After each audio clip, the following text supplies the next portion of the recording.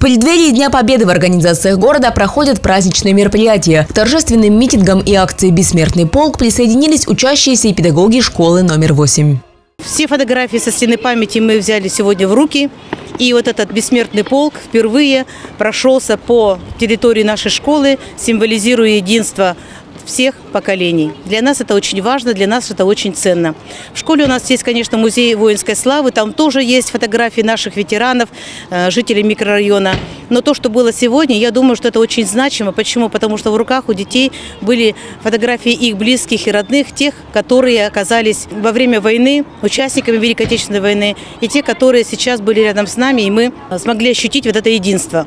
Подготовку ко Дню Победы в школе номер 8 начали еще в апреле. Для учащихся прошла декада патриотического воспитания. На классных часах школьники узнали о героях Зауралья и символах Победы. Получилось здорово, получилось хорошо. И самое ценное то, что у нас было вот это единение единой песни.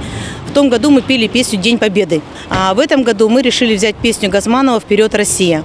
А, ну, мы готовились, конечно, в течение последних 10 дней. Эту песню репетировали,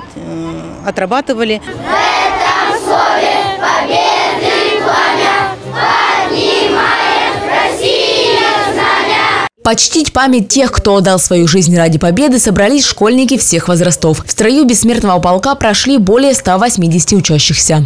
Само мероприятие значимое и важное не только для нас, э, но и для детей, но я думаю, что для родителей, потому что родители тоже готовили э, вот эти все фотографии, готовили э, информацию о ветеранах. На классных часах дети рассказывали каждый о своем ветеране, где он воевал, какие подвиги совершал. Школьные митинги, приуроченные ко Дню Победы, становятся традиционными. На них ученики чувствуют значимость великого праздника и вспоминают о героях военного времени.